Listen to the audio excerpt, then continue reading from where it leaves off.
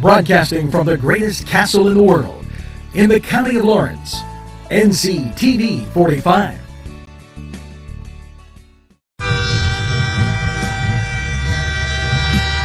NCTV 45 New Castle, The Train,